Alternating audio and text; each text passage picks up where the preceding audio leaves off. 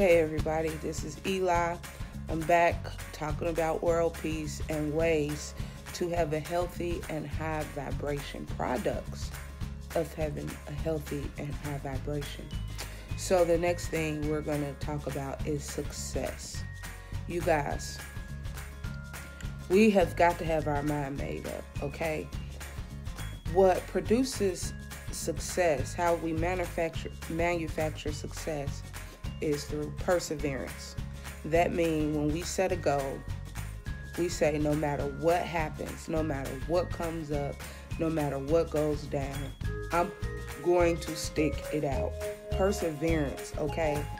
Perseverance is, you remember that story with the turtle and the rabbit? The turtle beats the rabbit in the race. Why? Because he persevered. He kept going on. He kept going on. Okay?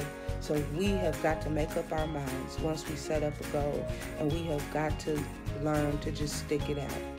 Because people, things happen, and that makes people want to get discouraged. As soon as you say what you got going on, you got three or four people to disagree with you, you just say, forget it.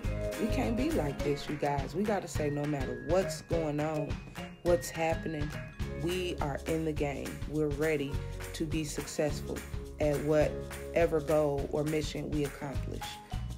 And we won't let anything stop us from that. Things come up, you guys. Every time that I set a goal, something happens. Like literally right then and there, something is happening, something is coming up. But I've had to make up my mind that regardless of what's going on, that I'm gonna stick it out and see it through. Even when I do a song, I have to first come up with the concept of the song. I have to write the song, and then I actually have to go to the studio and record the song. This is a whole pro- process.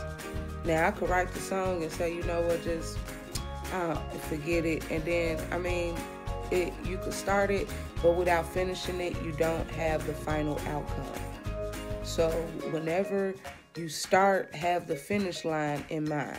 Okay, don't just start and with no no direction. You gotta have confidence and, and perseverance and knowing that not only you can do it, but you will do it because you won't let anything stop you or get in your way from doing it. So we have to persevere not just in our goals, not just in our missions that we want to accomplish, but we have to also learn to persevere through our personal trials and tribulation. Persevere. That means walk walk through the journey. Nothing ever lasts, not the good or the bad. So let's stay focused on the good during our trials and tribulations. Okay? Love you guys. World peace. The way that we attain success is through perseverance, sticking in there, hanging in there. All right. Bye. People for world peace, y'all.